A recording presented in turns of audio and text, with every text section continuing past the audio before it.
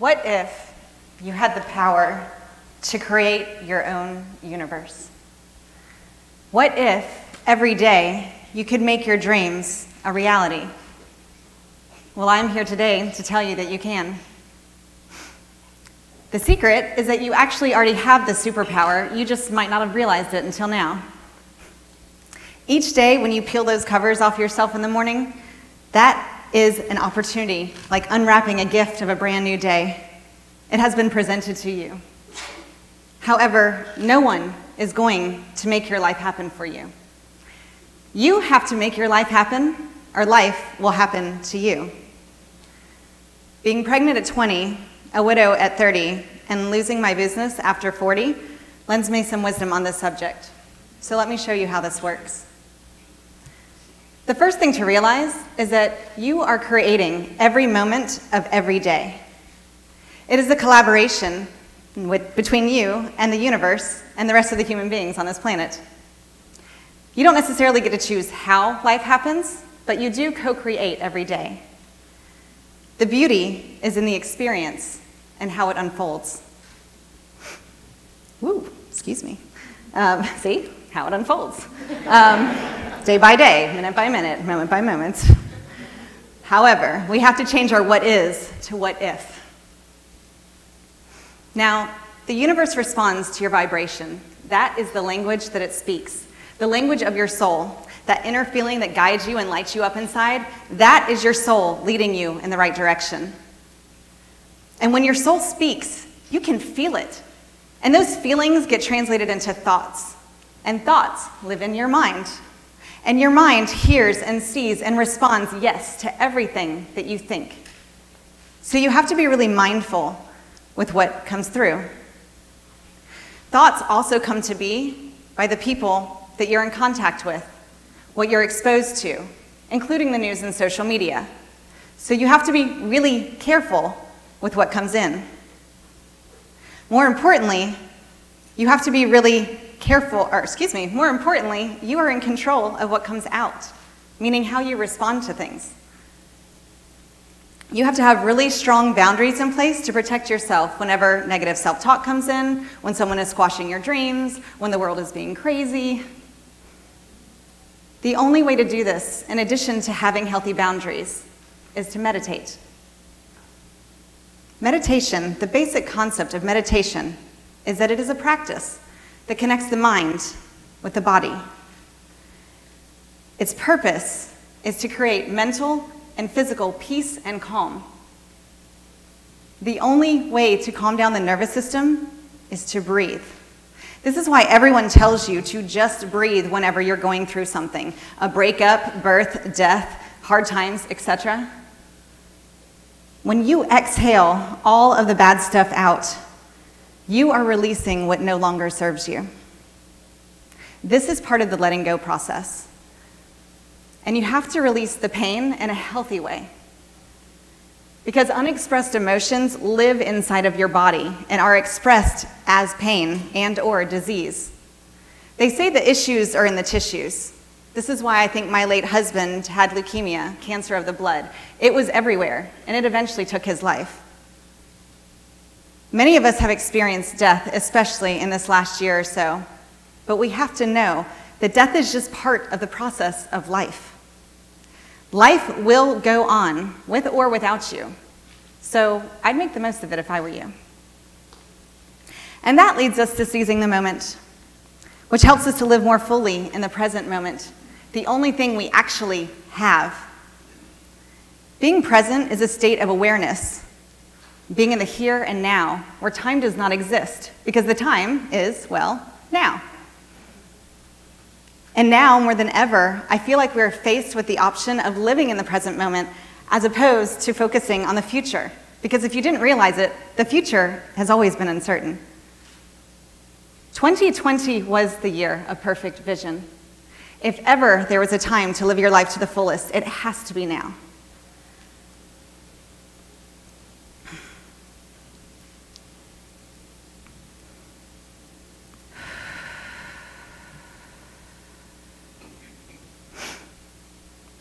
And now that we are faced with this opportunity to live in the present moment.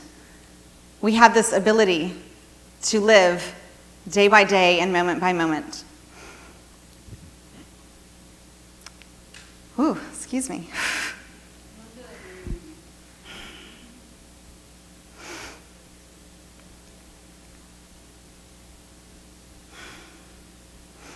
How do you do this, you might ask?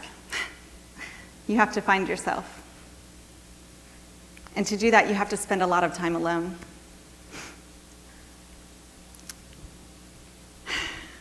When you spend time alone with yourself, it is silence.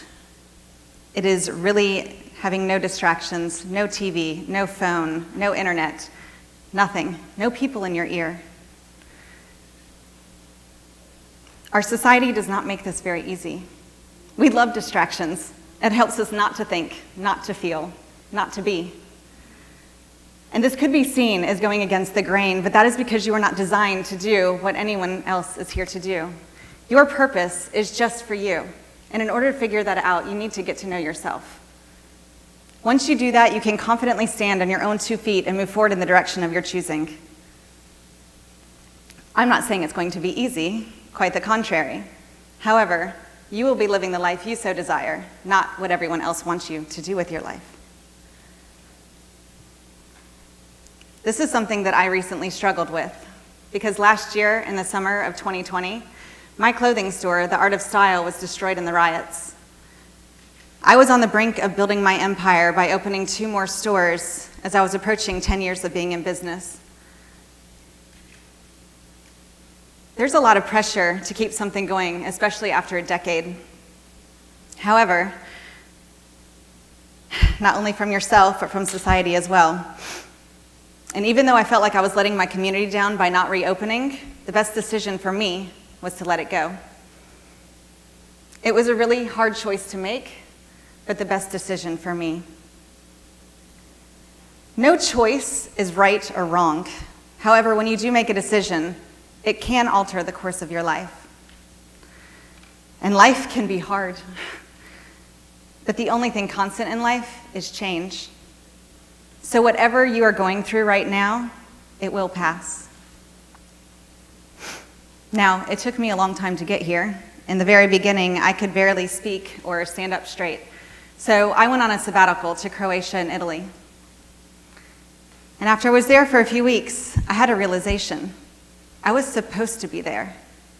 I had been saying for over 20 years that I was going to sell everything I own and move to Italy when I was 40. And here I was, just a little bit late or as I like to say now, right on time. Now I live in Italy every three months, and by next year I'll be living there full time. But in order for something this large to happen, my world had to be shaken up. I would have never gone to live in Italy had my store still been in existence. But when it was ruined, it created space for something new, something that I always said that I wanted.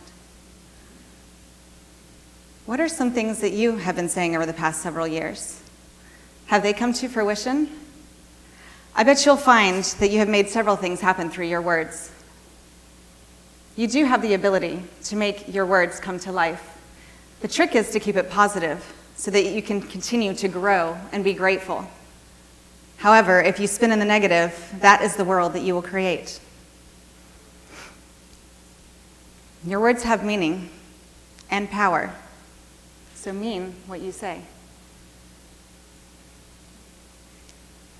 For the past few years, I've been saying that I wanted to travel to get paid to talk to people and inspire them to chase their dreams. I always said I didn't sell clothes, I transform lives. But I also said that I was going to revolutionize retail. So now I've decided to franchise my store for that legacy to live on in others. It's crazy. I literally open my mouth and say these things, and eventually they come to fruition. And guess what? You can too. That's the beauty about designing your life. And the possibilities are endless. And you can always change your mind. And as you change your mind, things start to shift. It's the butterfly effect. And that leads to transformation.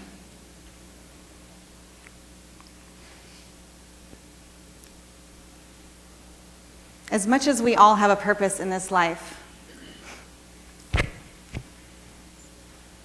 as much as we all have a purpose in this life, what we do affects others.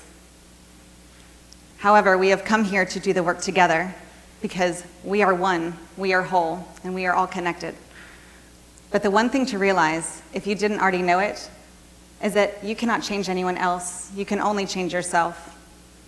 So, how about instead of blaming everyone else for your life, you take accountability for all of your actions? How about instead of focusing your efforts on other people's lives, you pour all of that attention into yours? What if you love on yourself for the next day, week, month, year, and see what comes out of living your truth and feeding your soul? Something else I've been saying is that I want to live a simple, luxurious life, and in Italy, I can do just that. For me, that means working less and living more, doing a lot of meditation and yoga, reading and writing, thinking and walking in nature, and spending time with friends and family. These are the simple luxuries of life, and none of them cost a thing. What does your dream life look like? They say a dream written down with a date becomes a goal. A goal broken down into steps becomes a plan. A plan backed by action makes your dreams come true. You are the creator of your own life. You are choosing the life that you live. And you should aspire to live the life you love and love the life you live. Every day, you have a multitude of choices to make that happen. And you always have the option, no matter where you are or what you're doing, to hit the pause button, breathe, and reset. Thank you.